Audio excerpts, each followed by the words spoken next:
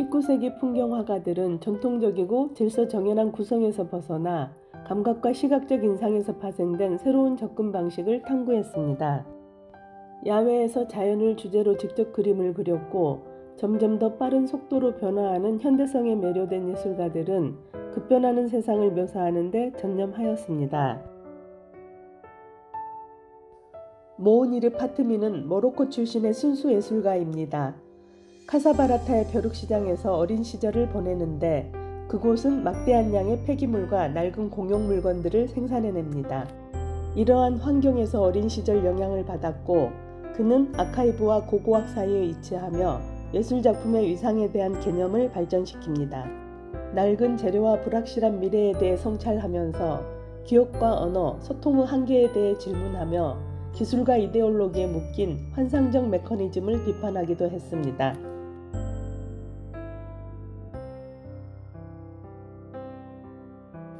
카지오는 창조를 투쟁으로 즉 페인트나 물질과 신체적인 싸움으로 보았고 행동과 에너지는 작가의 작업의 구성 요소로 그림을 땅에 깔고 안료로 덮은 캔버스 위에 발을 올려 행동하는데요. 이런 움직임은 작가의 정신적인 에너지 전사로 작용합니다. 신체가 역동적으로 개입하여 만들어낸 작품을 액션 페인팅이라고 합니다.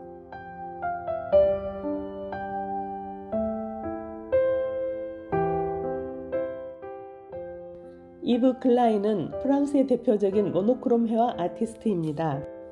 푸른색을 좋아했으며 그의 단색조 회화들은 페인트용 롤러를 사용해 제작되었고 표면은 거칠게 표현되고 감정이 이입될 수 있는 어떠한 조건도 배제합니다.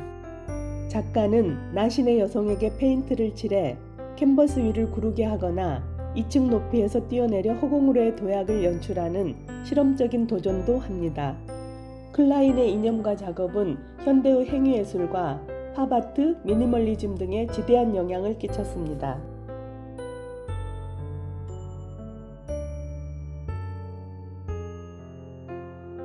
검은색을 많이 사용하는 검은 추상의 거장 피에르 술라주의 작품입니다.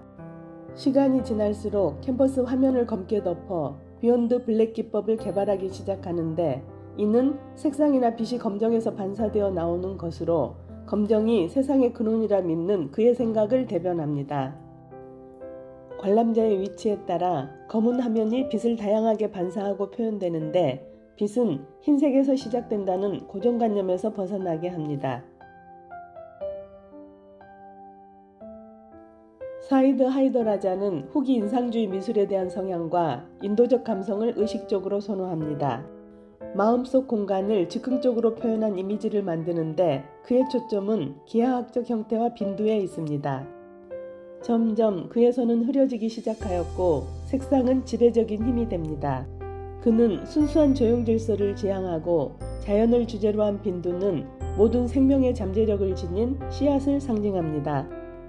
검은색 온으로 표현된 빈도는 힌두의 영성과 삶에 대한 인식을 상징합니다. 프랑스와 인도를 오가며 살았던 작가에게 이 상징은 작가의 문화 이중성을 완벽하게 표현하고 있습니다.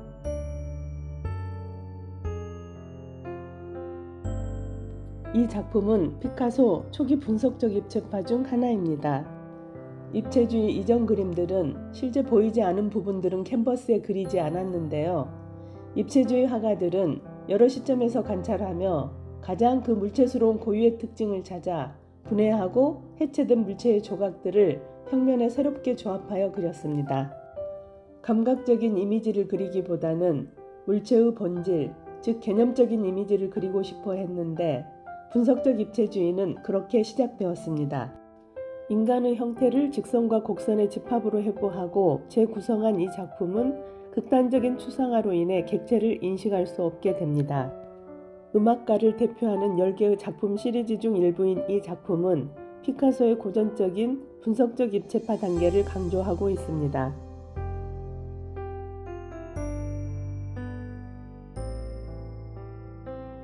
잠자는 숲속의 미녀 전설을 묘사하고 있는 작품으로 휴식 중인 인물은 영웅이 사랑하는 사람에게 키스할 때만 깨어납니다.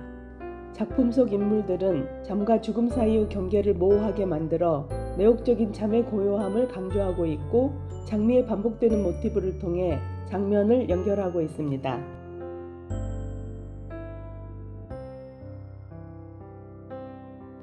밀레는 프랑스 화가로 바르비종파의 창립자 중 한 사람입니다.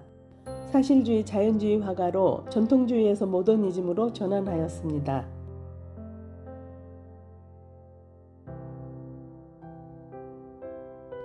카미유 코로도 바르비종파의 한 사람으로 격조 높은 풍경화를 그리는데요. 인상주의 화가들에게 큰 영향을 주었습니다. 코로의 풍경은 대부분 숲에서 마을이나 도시로 들어오는 입구를 그리는 게 특징입니다.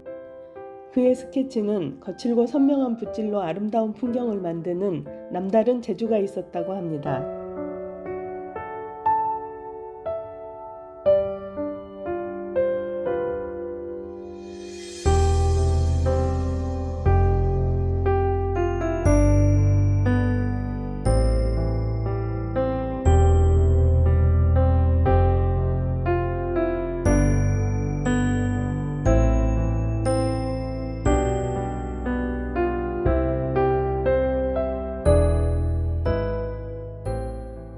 알프레드 시슬리는 잉글랜드인으로 프랑스에서 활동한 인상주의 풍경화가입니다.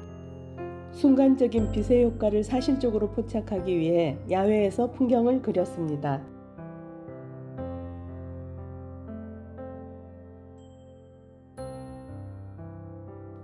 모네의 작품으로 클로드 모네는 인상주의 운동의 주요 인물입니다.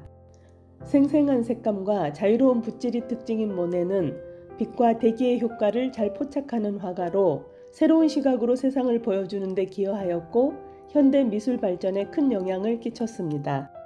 잔뜩 흐려 보인 곧 비가 내릴 듯한 분위기에 바람이 불어 나뭇가지들이 한 방향으로 쏠린 모습으로 이 작품은 구름과 나뭇가지로 바람의 효과를 인상적으로 표현하고 있습니다.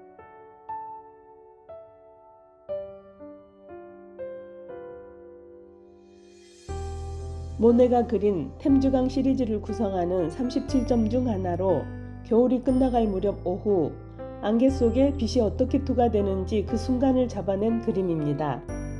모네는 빛을 다루는 작업에 비해 지형을 정확하게 묘사하는 데는 별 관심이 없어 보입니다.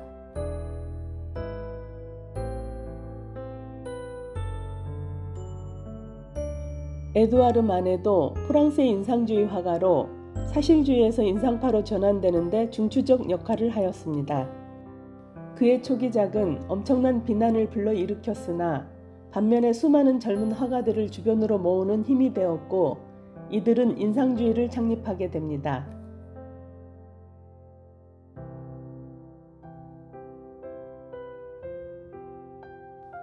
마네의 화풍은 단순한 선처리와 강한 필치, 풍부한 색채감에 있습니다.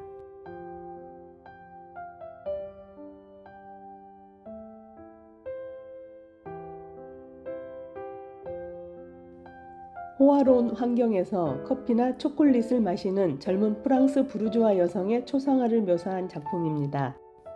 르누아르 특징은 직관적이고 감성적인 색상 조작과 짧고 빠르며 느슨한 붓놀림으로 광범위한 어휘를 통해 인상파 회화학교를 개척하는 데 도움을 주었습니다.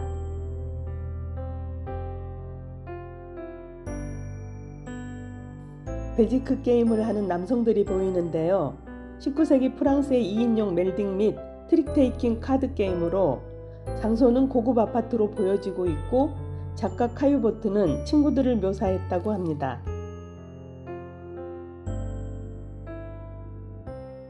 다소 경직되고 불안한 태도를 보이는 작품 속 모델은 하인이라고 합니다. 그녀의 얼굴 표정은 관람자를 궁금하게 만드는데요. 여인 옆에 놓인 정무라는 수직적인 형태로 구성되어 그림과는 감정 교류가 전혀 없어 보입니다. 이 시기 세자는 자연을 계약적인 틀로 환원시키고 당당하고 안정감 있게 자연스러운 모습을 그렸습니다. 회화의 기본 요소인 형태와 구성이 만드는 조형적인 질서를 추구하고자 하였고 그의 회화는 일시적 잔상이 아니라 과학적 지식이었습니다.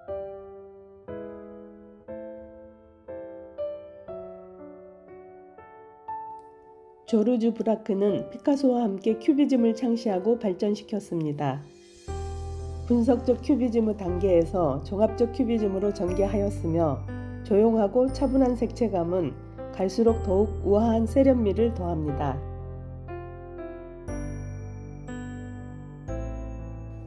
고전 미술을 배운 목판화가로 유명한 펠릭스 발로통은 현대 목판화 발전에 중요한 역할을 하게 되는데 작품에서 그의 색상은 즐거움이 전혀 없어 보입니다.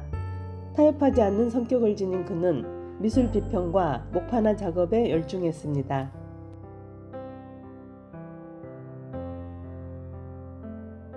소설 달과 육펜스의 주인공으로 유명한 고갱은 강렬한 색채의 실험으로 종합주의를 선도하였고 그의 작품들은 이후 수많은 화가들에게 영향을 주었습니다.